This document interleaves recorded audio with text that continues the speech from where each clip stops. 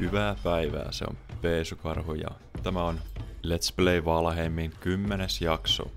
Parit seuraavat Valheim videot on voiceoverilla, koska jostain syystä mitkään äänet ei ole tallentunut, ei edes pelin äänet, joten täytyy kommentoida mitä ollaan tehty kaveritten kanssa tässä.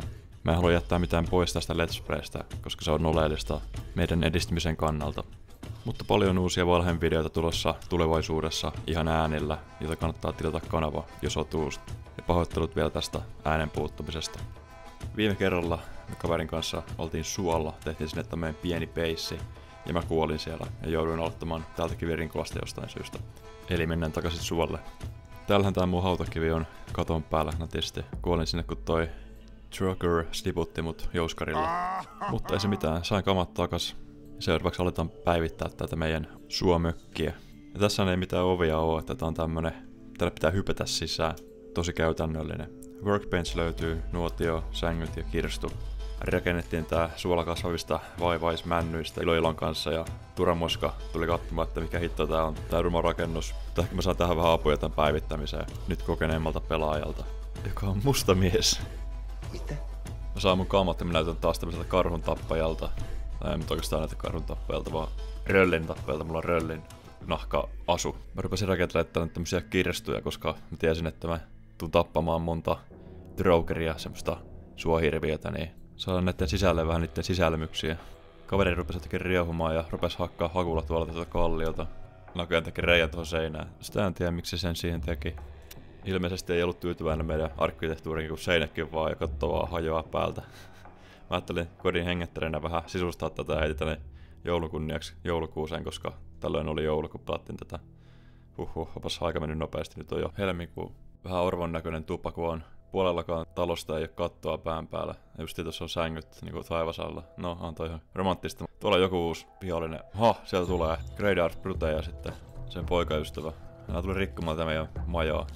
Tässä majassa on se hyvä puoli, että täältä pystyy ampumaan jouskarilla hyvin tuolta välistä näitä vihollisia. Me sytyttiin tuon tulen tuon Great Bruten. Meni vielä antaa sille lisää tulta persauksille. Nämä tulinuolet on näköjään tehokkaita näitä puupaimenia vastaan.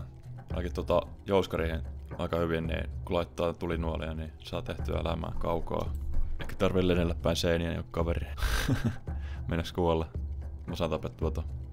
Oltiin rauhassa viettämässä sunnuntai-iltaa täällä meidän kotosessa mökissä ja kunnes yhtäkkiä Vreitti, tommonen haamo tuli Turamoskan perään. Mä niin tietämättä tiedä, että toi on joku paha vihollinen. Näyttää ainakin pahalle. Piti koittaa mennä ampua sitä Euskarilla ja katsoa, että paljonko se tekee damakea, mutta ei sitä näkynyt enää missään. Se katosi johonkin tuohon yön pimeyteen. Here's Johnny! Ei, siellä se menee. Ihan tossa.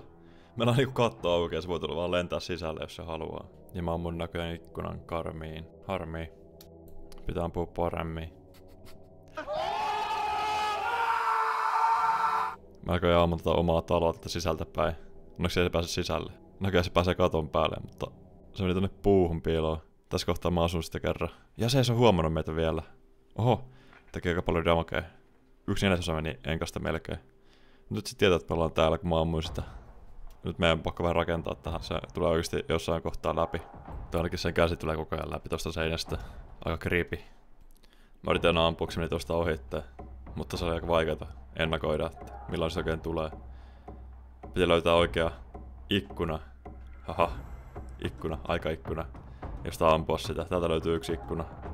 Vai niin, ammuin taas karmiin. Täältä näin pienestä välistä ja osu. Tuli unelmalaukaus puun läpi. Nyt se näköjään tulee kostamaan. Sitten tulee tuohon tupaan melkein. Nyt mä saan siihen muutaman osumaan, mutta en tee paljon damokea. Mä tiedän. Niin ilmeisesti se ensimmäinen osuma oli tota critical, koska se ei ollut tietoinen meistä. Nyt mä saan siihen monta osumaa, kun se on jäänyt tuohon jumiin. Se yrittää tulla sisälle, mutta se ei pääse. Ei ihan saan tapettua sitä ja viimeinen nuoli menee ohi. Viimeinen nuoli lentää kattoon. Sitten tulee vielä takaisin, mutta nyt on enää niin vähän noita reikiä, mistä ampua, niin tässä on ainut ikkuna. Osuin siihen se on ihan lovi. Se on yksi osuma. Ja se on siinä. Me saatiin tapettua se. Ensimmäinen Vreit, joka tulee kiusaamaan meitä ja me saatiin päitettyä se. Joskareilla mökistä. Mitä siltä oikein saa? Täällä on joku, mikä se oli? Ketju. Sillä saa näköjään rakennettua tommoseen Forge Bellowsin, eli semmosen, millä puhalletaan tulipesään ilmaa, että se saa happea se tulipesä ja ja siellä kaatuu seinät taas päälle vaihteeksi. Tippuu lautaa päälle, kakkosilla ostaa. Kiitos. Tero Pitkämäki. Sitten lähdetään seikkailemaan ja mennään etsiä vähän suohirviöitä. Ei, siellähän niitä on pari. Ammutapas täältä jouskarilla kaukaa niitä. Huti meni. Oh oh, nyt ne kummakin tulee tänne. Lähdetään pakoon. Help me. Hei, tältä katoltahan pystyy ampumaan näitä. Ei kun se on toinen jouskarilla. Ai. Mitä se nyt hirveän kova isken? Puolet enkaista. Toki, kaksi osumaa niin kuole. Siinä se on se jouskarityyppi. Ui saakeli. Okei, mä selvisin kahdesta osumasta, mutta kolmas tappaa ihan varmasti. Äkkiä sisään. Ei mitään.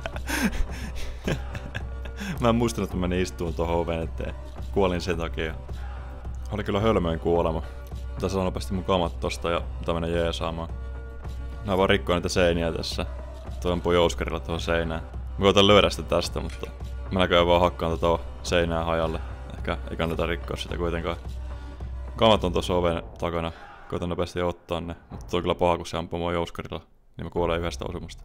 No niin, mä saan oven kiinni. Täältä voi ottaa. Nice, mä sain mun kamat takas. No niin, kaveri näköjään tapponeen. Täällä ei ole enää mitään ongelmaa. Päiväkin vaihtu. Sitten mennään etsimään uusia vihollisia. Tuolla joku hohtava hyytelökasa. Kotaanpa sitä jouskarilla. Pomppii. Nyt mä osuin siihen. Se näköjään tulee mua kohti. Uhkaavasti. Lipuu hitaasti ja pomppii. Blob. No joo, ei vitti päästä sitä liian lähelle, koska noin vissiin myrkyttää sut. Ja mulla ei mitään antipoisuneita, niin menenpäs takaisin kämppään. Ja me kahdestaan voita sen. Kummallakin on jouskari. Kunhan nyt ei päästä sitä iholle vaan. Yksi osuma vielä, se on siinä. Yhtä aikaa, mutta ei kuollut silti. Haha, mä sain tapo. Katsotaan mitä sitä sai. Veikkaa, että jotakin limaa. Mä en sanonut mitään. Tää on vähän paha, kun näitä traugereita tulee koko ajan tänne kämpän luokse. Ne on aika vaarallisia. Toisaalta näitä, ei ole jouskareita, niin on helppo ampua täältä katolta.